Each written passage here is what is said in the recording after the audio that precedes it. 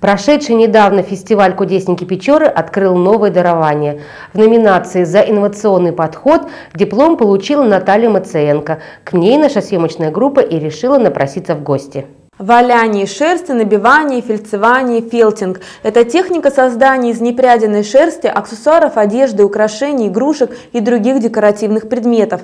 Процесс монотонный и в то же время увлекательный. Именно ему Наталья Мациенко посвятила всю себя, забыв о высшем экономическом образовании в Тамбовском государственном университете. Вот эта работа сделана по сухому, то есть я беру иглу, вот кусок поролона, игла, и просто шерсть это набивается. Вот. вот этот цветок, например, он сделан по мокрому.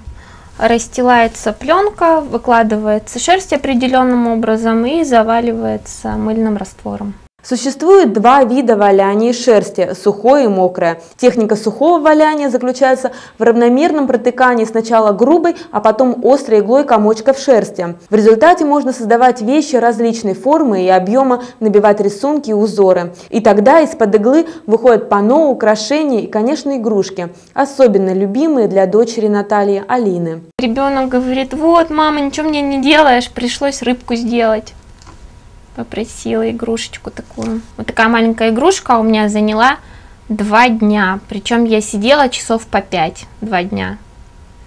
Получился такой вот маленький дракончик. Техника мокрого валяния очень сложная. Она основана на свойстве натуральных волокон съеживаться в теплой воде. Сколько раз Наталья пальцы колола, уже и не помнит. Говорит, а что делать, красота требует жертв. И рассказала, как так получилось, что валяние шерсти стало частью ее жизни. Ходила на курсы по рисованию, и там, ну, много всяких тетушек, и как-то они заговорили о том, что из шерсти можно сделать маленькие валеночки, ну, вроде как брелочек. И мне стало интересно, залезла в интернет, а там, оказывается, не только валеночки, а много всякого интересного. Наталья очень разносторонний человек. Кроме валяния шерсти, она занимается вышиванием из атласных лент, выкладывает стразами картины, ими же украшает одежду, обувь, даже сотовые телефоны и ноутбуки. Лепит настоящие шедевры из теста и проявляет себя в новом амплуа в роли художницы.